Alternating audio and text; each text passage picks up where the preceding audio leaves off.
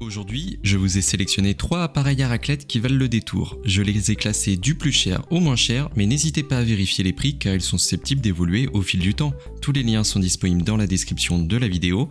Allez donc y faire un tour et restez bien jusqu'au bout pour découvrir ma recommandation. On commence donc ce comparatif avec l'appareil à raclette de la marque Louis Tellier. Plongez-vous dans l'expérience authentique de la raclette avec cet appareil traditionnel français. Il est conçu pour les amateurs de fromage qui apprécient la tradition et le fait main. Cet appareil à raclette permet de suspendre une portion de meule, la chauffant en continu pour un service à la demande.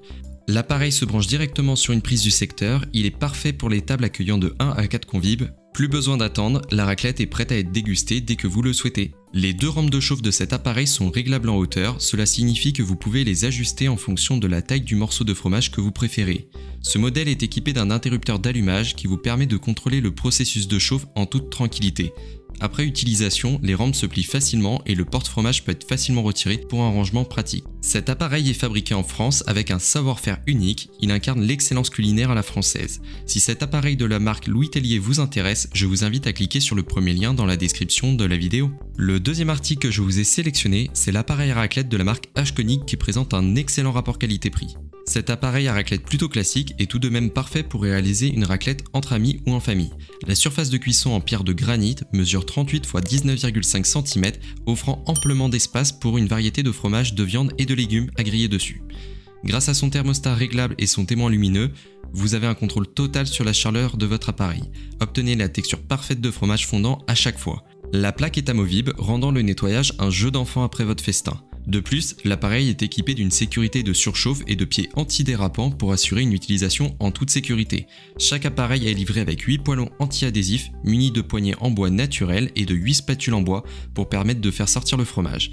Cet appareil à raclette a une puissance de chauffe de 1200 watts permettant une chauffe rapide du fromage. Pour obtenir plus d'informations sur cet appareil à raclette de la marque H-Koning, n'hésitez pas à cliquer sur le deuxième lien dans la description de la vidéo.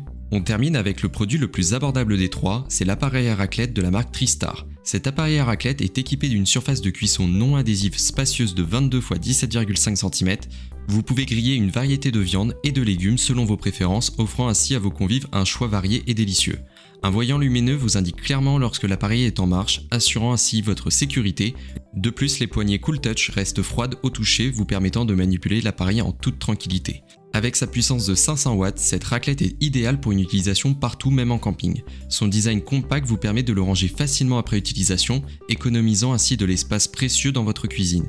Si vous souhaitez en savoir plus sur cet appareil à raclette de la marque Tristar, il vous suffit de cliquer sur le troisième lien dans la description de la vidéo. C'est donc la fin de ce top 3 comparatif des meilleurs appareils à raclette disponibles sur le marché. Si je devais vous en conseiller un seul, je pense que ce serait l'appareil à raclette de la marque Louis Tellier, car je trouve que c'est l'appareil le plus qualitatif, il est quand même fabriqué en France, il est de très bonne manufacture et permettant de profiter d'une vraie raclette authentique. Merci d'avoir regardé la vidéo jusqu'au bout, si vous voulez nous soutenir alors abonnez-vous à la chaîne en cliquant sur le logo, je vous dis à très vite pour un nouveau comparatif.